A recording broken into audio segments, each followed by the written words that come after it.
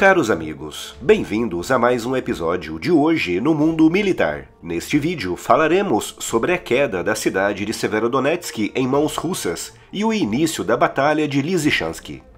Em duas horas e meia de conteúdo exclusivo, o coronel da reserva Paulo Filho, um dos mais prestigiados comentaristas militares e geopolíticos do Brasil, explica todos os antecedentes históricos e geopolíticos que conduziram a Rússia e a Ucrânia para a guerra. Entenda porque a Europa mergulhou novamente na guerra e aproveite a promoção de 35% com cupom de desconto. É só até o dia 30 de junho. Os links estão na descrição.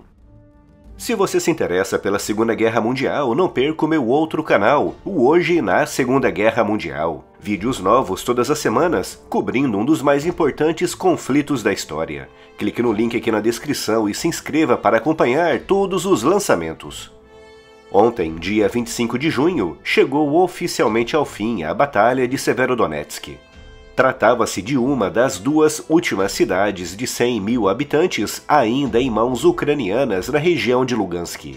O assalto russo contra a cidade começou no final de abril, intensificando-se no início de junho. Com essa batalha, de praticamente sete semanas, reduzindo a escombros grandes porções da cidade. A Rússia aplicou ali a tática que começou a aplicar no final de março, quando iniciou aquilo que chamou de segunda fase da invasão. Uma tática que envolve o bombardeio pesado de artilharia contra aldeias e cidades, visando a destruição do maior número possível de edifícios, reduzindo assim o número de pontos nos quais os ucranianos podem posicionar tropas. E só após a conclusão dessa fase é que avançam com os blindados e a infantaria. O resultado prático dessa tática foi visto em cidades como Popasna, Mariupol e agora em Severodonetsk. Tratava-se de uma cidade muito importante para o esforço defensivo ucraniano, pois era a última na margem oriental do rio Donetsk mas com o avanço russo no sul, que resultou na ocupação da região de Zolot e que obrigou ao recuo das forças ucranianas que lutavam ali, e também com o reforço do assalto russo contra Severodonetsk, tornou-se impossível manter as posições defensivas no interior da cidade. De acordo com a Ucrânia, há cerca de uma semana estavam decorrendo ações organizadas de recuo, com essas forças se posicionando agora em Lysychansk, na margem ocidental do rio Donetsk. Ao contrário de Severodonetsk, localizada em uma planície aberta que permitiu o assalto russo por todos os lados, Lysychansk está localizada no alto de uma colina, com uma visão desimpedida de 360 graus e com o rio Donetsk guardando seu flanco leste. Características geográficas que costumam favorecer o lado que defende.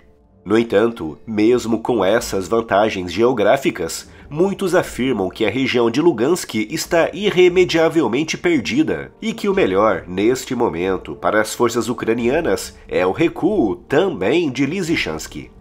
Esse recuo daria à Rússia o controle completo da região separatista de Lugansk, mas os ucranianos poderiam montar uma linha defensiva mais concentrada e forte no eixo Sloviansk-Kramatorsk, na região de Donetsk. O motivo para toda essa preocupação está no sul, com os russos avançando a partir de Popasna e Zolot em direção ao norte, em uma manobra que poderá cercar Lysychansk 15 quilômetros na sua retaguarda. O que aconteceu em Severodonetsk mostra claramente as táticas da Rússia e da Ucrânia nessa guerra. Os russos embrenharam-se em uma autêntica guerra de atrito, e se antes tinham objetivos amplos de cerco de grandes regiões, agora estão visando a conquista de uma cidade de cada vez, com a conquista de Severodonetsk de 100 mil habitantes, levando quase dois meses. Essa tática é o resultado do receio russo em manter grandes colunas com flancos excessivamente expostos, já que isso aumenta o risco de contra-ataques ucranianos contra esses flancos e o consequente cerco da ponta de lança russa.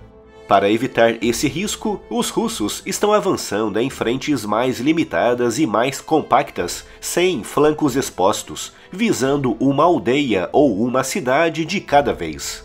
Já os ucranianos, incapazes de segurar o avanço russo em todas as frentes, se limitam a tentar causar o maior número de baixas entre os russos e a ganhar tempo.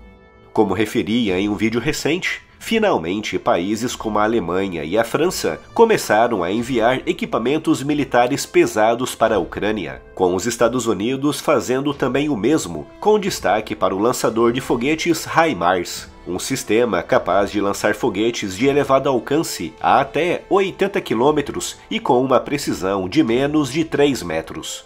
Quanto mais o tempo passa, mais armas desse tipo são entregues, com os ucranianos contando os minutos para a entrega das novas defesas antiaéreas alemãs Iris-T, um sistema que promete tornar ainda mais difícil o trabalho da Força Aérea Russa na retaguarda ucraniana.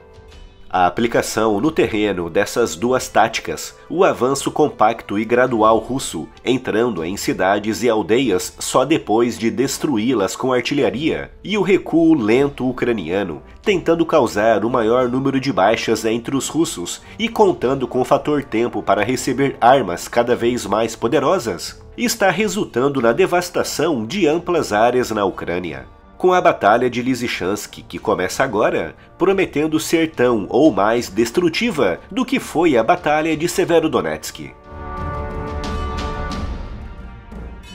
E se gostou do vídeo e se quer incentivar o canal, não se esqueça de deixar aqui o seu like e de o compartilhar com seus amigos. E confira também as incríveis novidades da loja. Além de adquirir aquele presente super bacana, ainda estará apoiando diretamente o projeto do Hoje no Mundo Militar. O link da loja está aqui na descrição.